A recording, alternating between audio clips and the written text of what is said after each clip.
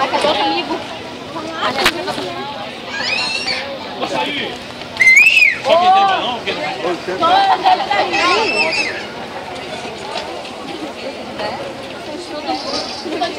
Isso, pode ir mais pra trás, assim, pra dar lugar. É daqui de cima, tá? Beleza, ó. Olha o bagulho. Nossa, tirando.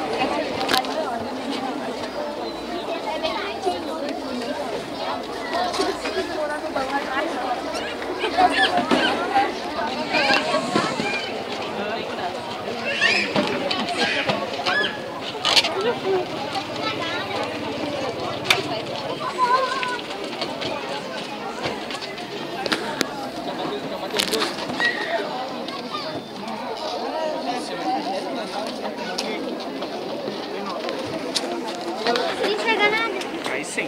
Rapaz. Tá, silêncio aí, faz favor.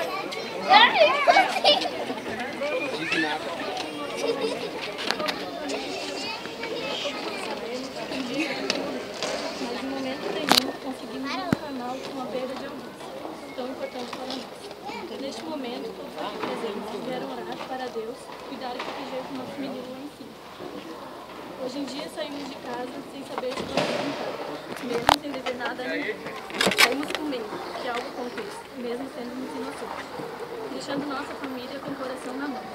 Léo teve sua vida interrompida, perdeu a chance de conquistar o mundo, pois talento ele tinha. Hoje todos estamos tristes por não ter tido a chance de dar a Deus ao nosso amigo. A dor dessa perda nos paralisará.